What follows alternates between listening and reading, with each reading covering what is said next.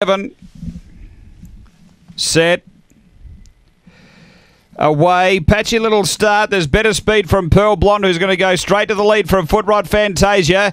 A breakaway Kumbayana Song and Magic Train from Daisy Bale. Next, Son of Diablo, Bogey Tiara and Raja's Green Man, but speeding away. Footrod Fantasia puts a space on them. Pearl Blonde is next, and then Magic Train, but it's all Footrod Fantasia careering away. This is a good win.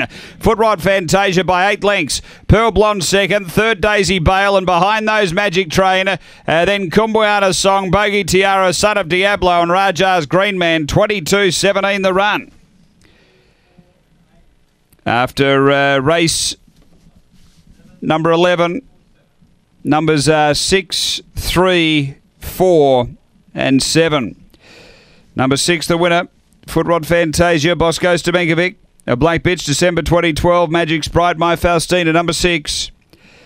Uh, second, Three Pearl Blonde, Mick Giniotis. A Light Fawn Bitch, April 2013. El Grand Senor, Marley Manelli.